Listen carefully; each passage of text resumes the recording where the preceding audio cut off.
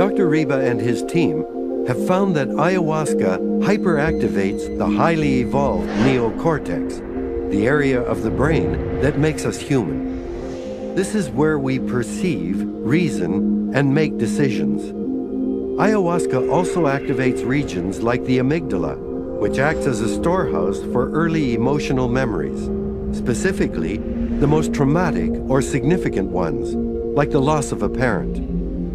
Finally, ayahuasca activates the insula, which is believed to create a bridge between our emotional impulses and our decision-making capacities.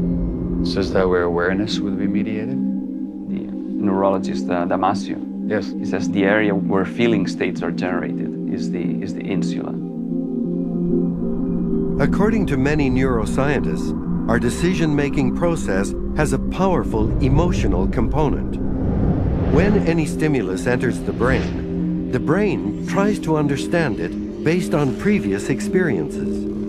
In early life, powerful or traumatic events create an imprint on the brain, a pattern. This pattern is like a shortcut, activated every time we face a similar situation. For example, if we were once attacked by a dog, our brain might harbor a set of these pathways that associate that dog with all dogs, making us fear them in general.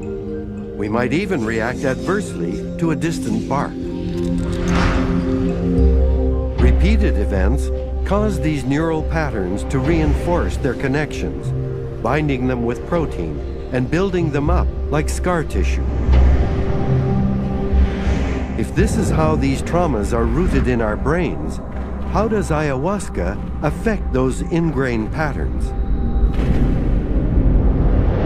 Ayahuasca hyperactivates the entire brain region where we store and process emotional memory, often uncovering long forgotten memories. This hyperactivation enables the conscious part of the new brain to temporarily override previously entrenched patterns, allowing new connections to be made. Dogs, for example, may no longer be feared as these new connections are created and memories reevaluated.